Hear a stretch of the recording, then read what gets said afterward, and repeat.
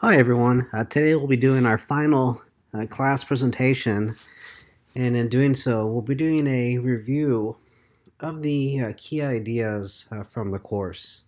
So a little bit of background into and how we started to look at uh, gender as a sociological concept and then we'll break it down by our three different uh, dimensions with respect to our sociological framework. And you know, all this information is useful information uh, with respect to the uh, final project of the semester, where I ask you to you know, bring together the three different dimensions of our course framework and tie it into gender in one way or another. So overall, just to get into our review, we started by talking about how when we speak of gender, we distinguish it from sex. Uh, sex represents the kind of male, female, uh, biologically speaking. And then when we talk about gender, we're talking about the different meanings that we associate uh, with the sexes. Uh, femininity represents the meanings we associate with females. Uh, masculinity represents the meanings we associate with males. And then we talked about gender is not something that people have, but rather something that people do. Uh, gender is a performance that people give.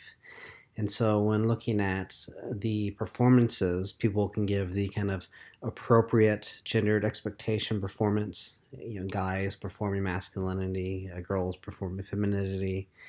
Or on the other hand, you can look at people who try to do more gender neutral uh, performances. Or on the other hand, you can see where people try to distance themselves from expectations. Thus, we can say that they are performing unanticipated gendered ways. And these performances are often unconscious. So this goes on without us even thinking about it. And starts in the morning in terms of how we pick out our clothes, and it goes on through our, uh, throughout the days in terms of, you know, how we think, uh, how we act.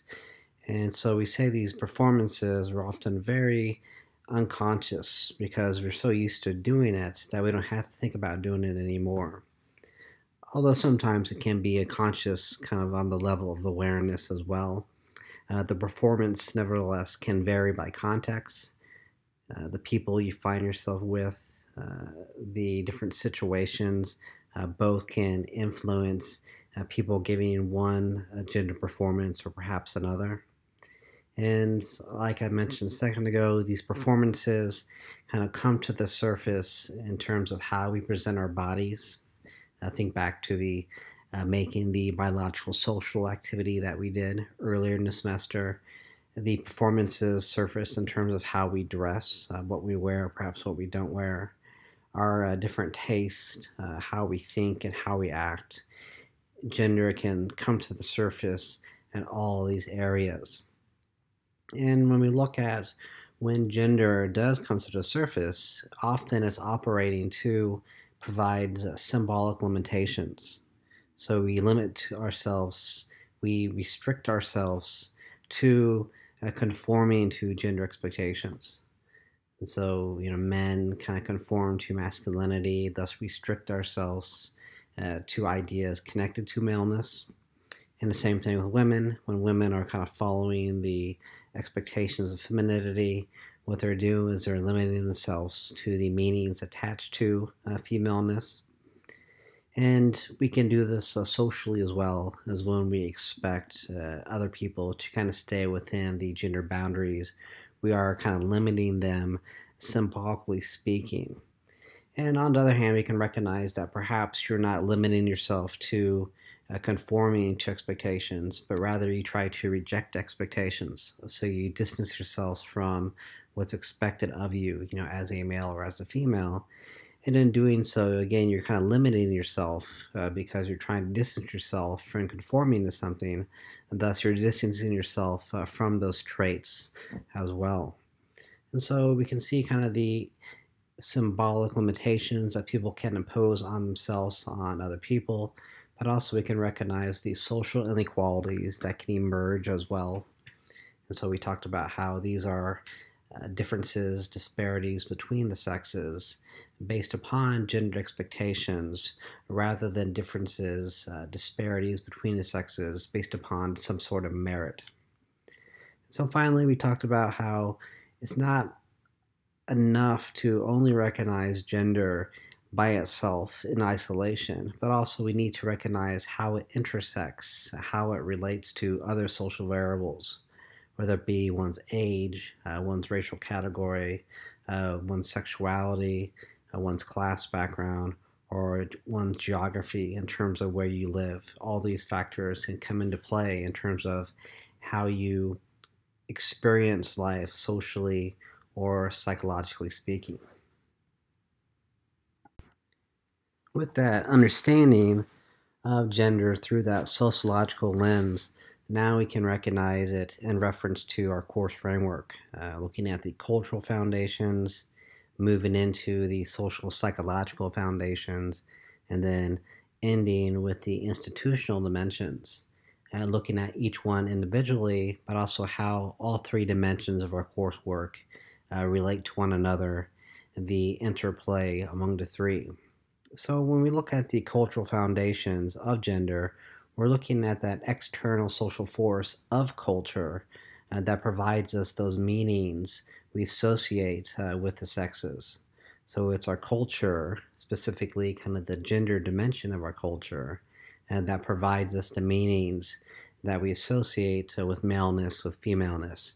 It's not knowledge that we're born with, but rather it's knowledge that we learn only when we're exposed to uh, gendered cultural ways. And these different ways, these different meanings are fluid and they will change over place. So they'll differ in terms of the meanings we associate with the sexes from one place to another and they will change uh, over time.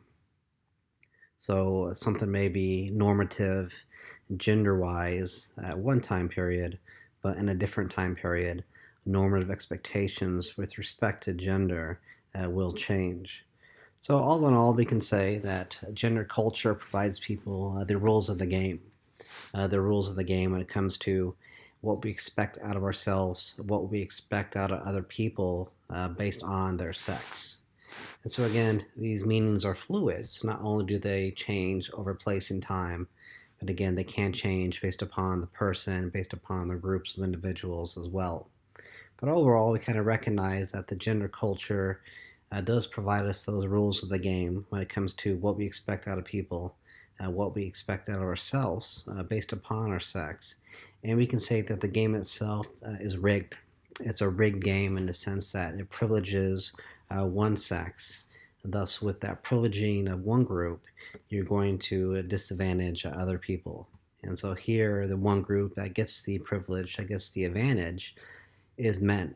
And it's because kind of the rules are, wit, are written in their favor in terms of the meanings we associate with masculinity, uh, kind of outweigh both symbolically and socially speaking uh, the meanings outweigh the meanings we associate uh, with women, with femininity. You know, the leader gets more symbolic and social respect uh, than the supporter. And so when you start to see all those different relations in terms of how gender kind of divides meanings up between the two sexes, then you can recognize how the game is rigged from the get go. If you play by the rules, more often than not, uh, the men are going to get advantage and the women are going to get disadvantage. Thus, the game is rigged.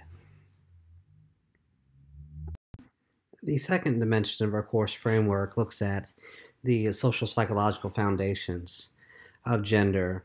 So here we're looking at how we take that external uh, gender culture and we internalize the culture, uh, make it part of our social psychological makeup. And when you connect the external cultural force to our internal uh, psychological makeup, and then what we're going to do is be making that external force a real force in the sense that if you never learn the rules of the game, uh, you're not going to be playing by the rules of the game. But once you do kind of learn the rules and begin to play by them, then you make that external culture real and its influences uh, real and its consequences. So again, sometimes this is on a conscious level, and more often than not, you know, once we learn the rules of the game, we don't think about them, but they still guide our actions and thoughts unconsciously. Uh, so here we begin to see ourselves, uh, we begin to see other people, uh, not as people, but again as gender people. We see them in terms of their maleness and femaleness that we associate uh, with their sex. So we use the gender beliefs that again we tie to one sex to kind of understand who they are in relation to ourselves, who we are in relation to other people. And again, sometimes you can try to stay within these gender boundaries. Uh, other times you can try to reject them and distance yourself uh, from the gender beliefs. But either way, you show how gender is having an influence on people when they are trying to play by the rules or when they are trying to reject the rules in one form or another. The distancing, uh, the conforming shows how gender is influencing how people think, uh, how people are acting. And we can also recognize that you know sometimes we personally may reject uh, kind of gendered standards for ourselves, perhaps for the close people around us but by default, typically we rely on the normative gender expectations when we don't know people. Uh, acquaintances, strangers, we typically resort on that default understanding of people uh, connected to gender to kind of understand what these people may be about, to kind of go about our kind of social uh, navigations with them. But uh, you know, when we get to know people, so when they're no longer an acquaintance or a stranger, we rely less and less on gender beliefs because we start to know them for who they really are. So the more we get to know people, the less we rely on uh, gender beliefs in that type of relationship. So overall, we can say that gender social psychology, in terms of inequality, often puts in practice the same understandings that promote the inequality to begin with. So if the game is rigged, and we're playing the game in terms of how it's meant to be played. That here you're putting in the practice the cultural understandings, uh, the rules of the game that promote that inequality uh, between the sexes. The third piece of the puzzle, the institutional dimension of gender, is an important uh, piece of the puzzle with respect to it connects the framework all together. You know, there's a relationship to culture, there's a relationship to social psychology. So, although we conclude the semester with looking at institutions, uh, one could argue that maybe it's the most important dimension because it's where the culture is coming from, is where people are learning the cultural ways, and it's within these spaces that a lot of the inequality is emerging. So when looking at institutions, institutions provide us a space in which uh, gender is being produced, so that gender culture, uh, the rules of the game, uh, the meanings we associate with the sexes, is, is being produced in these institutional spaces, uh, whether it be parents producing the culture, uh, teachers, uh, writers, the meanings, the ideas are being produced within these institutions, you know, such as the family, uh, such as religion, education, media, uh, government, and people within the institution, whether it be the official agents, the parents, the teachers, the uh, writers, the politicians, or other people within those spaces, our peers, uh, other family members, uh, for example, they're producing and they're teaching both informally and formally that gendered culture. And so here we see the production of culture, but also the institution provides us the space in which we are encountering and learning the gender culture, whether it be the you know books that we're reading, the uh, living room in which we're you know learning certain things, or the uh, classroom where we're being exposed to certain gendered ideas. So not only do the institutions produce the culture and provide us those spaces for socialization, they also uh, organize people around different social factors, uh, such as sex. And as I'll say in my next slide, this is important because when you start to separate people, it's easier to uh, separate them in terms of a different type of socialization. You can socialize people differently when you provide them different social spaces to which they're going to be socialized. And then also you can recognize how inequality can emerge from that in terms of separating people into different spaces and allocating different social status, uh, different uh, financial standings in those different positions, thus creating the inequality. Now looking at all three of our course dimensions and the interplay among them, we can see again the significance of institutions with respect to producing that culture and providing us a space in which we are making that culture a part of our social psychology. So, producing gender culture, we link institutions and culture together, uh, providing the spaces in which we learn and we internalize that gender culture. We are linking institutions to social psychology. So, again, you know, here are the three different components and how they relate to each other what I ask you to talk about, what I ask you to highlight in that final project of the semester. And so again, you start to see not only the three pieces here, but also how institutions will organize the sexes into different spaces.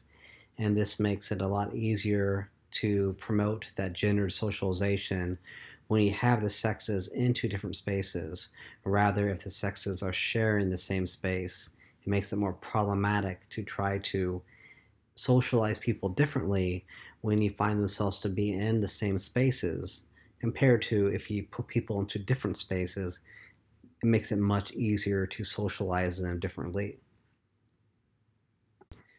Uh, to conclude we can look at how you know recognizing all three parts of our sociological framework and the functions of each part individually, but also how the three parts come together in terms of the interconnection, we can start to recognize how change is possible. So if you know how things work, then it makes it easier to do something differently in terms of promoting change as a whole. So kind of recognizing how things work with respect to culture, social psychology institutions to promote something different, to promote change, we need to start rearranging those three parts of the puzzle. And here, what we're talking about in terms of the ultimate goal kind of would be minimizing, uh, trying to decrease the symbolic limitations that come with gender, and trying to decrease and minimize the social inequalities that come with gender as well what we need to kind of focus on is how we want to degender the gendered culture. And by that, basically, you know, try to take away meanings that we associate with one sex or the other, and to simply associate meanings uh, for people. That's what we were looking at in terms of something degendered. And so, again, we've talked about in class uh, certain things such as a college student, such as uh, a piece of clothing, such as a hoodie, you know, these things are de-gender, gender neutral aspects of culture. And when you start to have that kind of gender neutral, degendered culture, then people have the free will to, you know, pursue a college career or not. Compared to if college was only seen for men, then women were socially, symbolically limited to not make that choice. Or if you were making that choice, you're limited in terms of the actual studies you could be doing. And the same thing with clothing. If you make a clothing that's for people to wear, then you have the option more to wear that type of clothing compared to if the clothing uh, made specifically for one sex or the other. So when we start to degender the culture, we are making meanings for people rather than meanings for one sex or the other. And here again, we're not trying to change people. So we're not trying to make, you know, men or women look differently or act differently. But what we're actually doing is providing people more freedom to live how they want to live, live according to their choice rather than living according to expectations that are tied to their sex. So men can, you know, choose what they want to do career-wise uh, where they want to do clothing wise. Women can choose what they want to do uh, career wise, wear what they want to wear, clothing wise, based upon their actual choice, their personal kind of styles, rather than being influenced directly, indirectly by cultural expectations that are tied into you being a male or being a female. So you get this kind of promotion of freedom. The more gender neutral the culture is, uh, the more degendered the culture is as a result. So you're not trying to make people the same. In reality, you're actually probably going to be creating more difference because you're allowing people to do what they want to do rather than trying to make them uh, conform or perhaps reject a certain gender expectations. And as a result, when you start to have people kind of doing what they want to do and how they want to do it, rather than people following the rules of the gendered game, inequalities will still exist. But the inequalities will be based upon uh, personal choice, you choosing to do something or choosing not to do it, and the inequalities will be based upon merit, uh, one's kind of ability to you know deserve it rather than something being handed to them or taken away from them uh, based upon gender expectations. So again, we're not trying to get rid of inequality as a whole, but replace the inequality, uh, the false inequality based upon gender expectations with inequality that's now based upon personal choice and inequality now based upon merit.